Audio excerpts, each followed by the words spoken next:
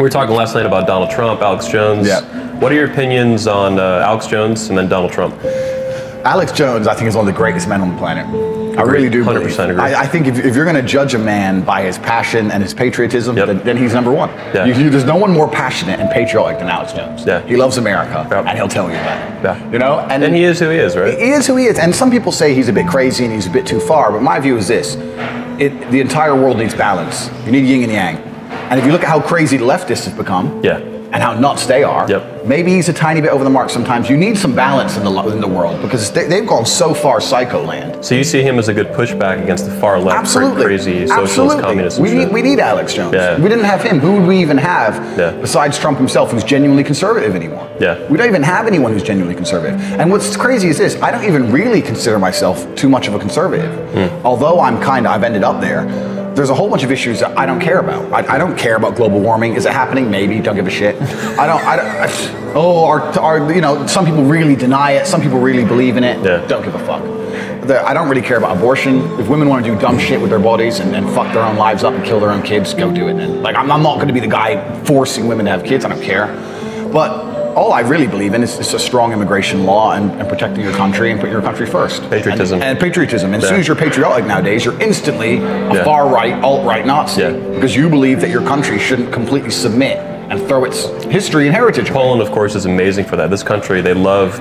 They're so in love with their own country. It's amazing. I'm- Well, it's 'cause they've been through shit. Yeah, a lot of shit. They've been through a lot of shit and they've Yeah. been fucked up a lot of times by a lot of people and they Yeah. finally got their shit together. And like, no, we're not losing. We're not losing this again. And that's and that's the thing. And we all know the old adage that uh, hard times create strong men, strong Yeah. men create good times. Da, da, da. We all know that, Yeah. and it's, it's absolutely true. America's had it easy for a long time. Yeah. And and now everyone, most of the people in America, literally just like America, they're Yeah. sitting there. Saying, oh, this is not fair. They're not nice because I'm this, because I'm black, because I'm Muslim, because whatever, whatever, whatever. This place ain't good. This place Victim is racist. Olympics This place, like this that. place. Well, fucking leave then. Yeah. And they don't understand that in Go many Canada. other yeah, well they don't understand that in most other countries you can't do that. You can't come to Poland and start walking around to everyone in Poland saying Poland's a shithole. Yeah. You can't do that. So the, the fact they even have the freedom to do that shows how great a country America is. Yeah. But there's some there's some huge experiment going on. I'm not going to get too conspiracy theorist with it, but the entire Western world is they're on a path to just cuck everyone and divide everyone. Suicidal. Yeah, absolutely. Because all they have to try and do is they just just divide and conquer. They just get everyone confused and upset with their own little tiny issue, their own imaginary racism, their own whatever. Yeah. So they can just control us all and keep us buying shit from Amazon.com. Yeah. It's just, just consumerism. It's Amazon globalism. Prime. That's Yeah. all it is. Let's talk about Donald Trump. What's your opinion on him? I love Trump, man. He's. I mean, he's the best we could have ever hoped for. Yeah, fuck yeah.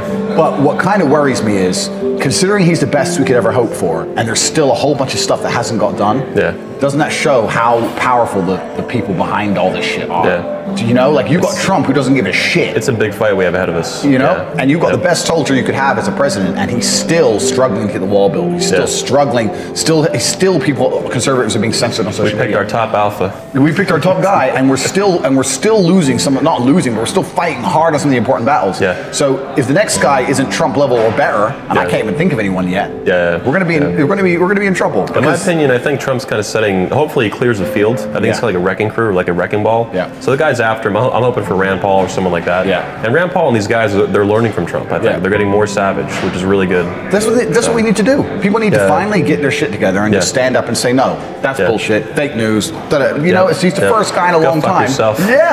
But this is what you need because Yep.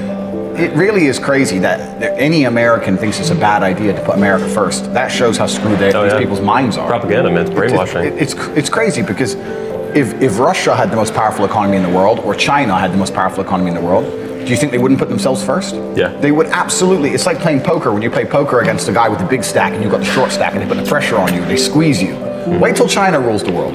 They're going to put a squeeze on everyone. You think they're doing a nice trade deal with anybody? They're going to put a squeeze on everyone. Yeah. And here we are as America being nice. Oh well, this Yeah. is a small country, so they'll communism, more communism isn't very nice either. Yeah. Well, exactly. You know, they're totalitarian, and that's why they're going to win and if, if we don't do something about it. So, yeah. I mean, this is this is all the political stuff, but Yeah. you know, it's it's it's it's great to have someone who's actually in the White House who actually gives a shit about America instead of giving Yeah. a shit about everyone else. Yeah, first president in my lifetime that I'm proud of every single day. Yep. My whole life I've never had a president like this. Yep. Yeah, so it's been uh, waking up in America now. It's like a whole new life, man. It's awesome. It's, he's doing a fantastic job, so Yeah. I can't wait for. I, I'm going to make sure I'm in America on election night 2020 just to Oh, see. yeah. I'm going to be in New yeah. York. Some I was liberal. fucking a Hillary supporter on election night. It was awesome. it was fucking. I was like, oh, you only being grabbed by the pussy? Like it was, it was, it was fucking dope. It was really savage. I do. I Total do. total accident. Like not, it wasn't set up like this. I was like, oh, this is great. They all end up Trump supporters. She was in the end. literally like in tears at one point when Trump won. It was, it was fucking it was bad, dude. I don't know if I should put this on camera. Whatever.